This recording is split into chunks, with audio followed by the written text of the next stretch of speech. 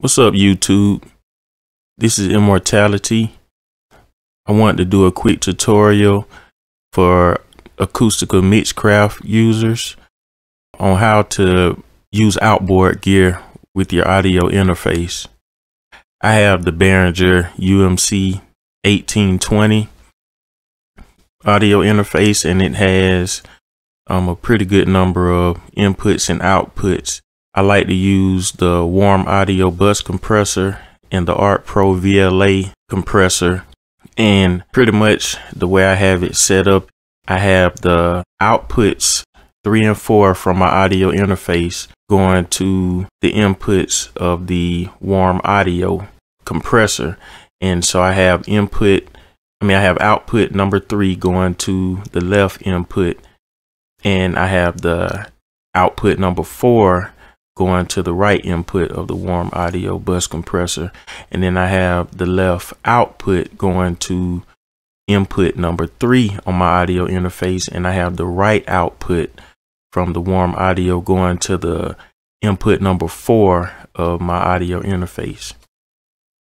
And then for the Art Pro VLA compressor, I have outputs five and six going to the Art Pro and then have it routed back into the inputs five and six. So I have output number five going to the left input of the Art Pro. Then I have the um, I have output number six going to the right input of the Art Pro, and then I have the left output going to the fifth input of the audio interface and the right output from the Art Pro going to the sixth input um, on the audio interface. So it's, you know, it's pretty simple. And then now I'm going to show you how I route it within Mixcraft. And pretty much it's very easy as long as you have um, an audio interface with a good bit of IO. I have a session open here and it's a pretty simple session. I have my beat here on track one. Um, and then I have a vocal bus that where I have the verse, the ad libs to the verse, and then I have the hook where I have it copied and pasted in each slot. You know, I still have to record a second and a third verse, but I thought that this would be a good simple session to kind of show you, especially for hip hop artists. So pretty much what you would do is you want to make sure you have an output track that you can route out through whatever outputs you want. And I've already done that. Here I have an output track that goes to my warm audio bus compressor. And what you want to do, you want to make sure that the output is set to whichever outputs you have going from your audio interface. So for instance, I have outputs three and four going to the left and right inputs of the warm audio bus compressor.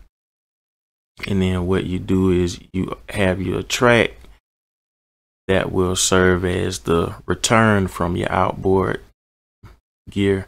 And here I named it warm audio return. And I have the outputs of the warm audio bus compressor going to inputs three and four on my audio interface. And you see I have that selected here and I always make sure you select stereo so it's doing the left and right.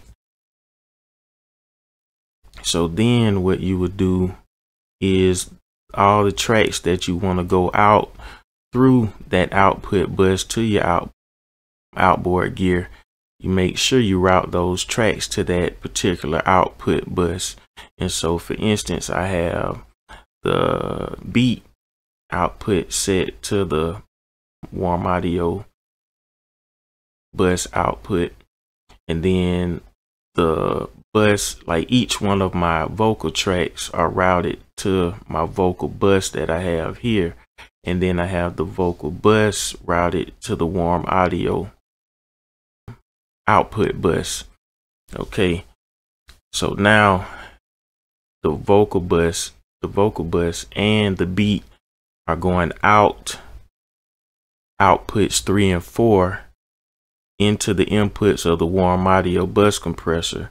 And then the outputs of the warm audio bus compressor are coming back in through inputs three and four which are routed to this red track here and basically what you want to do is you want to make sure on your audio interface that you have your monitoring set up to where you're monitoring only the input signal.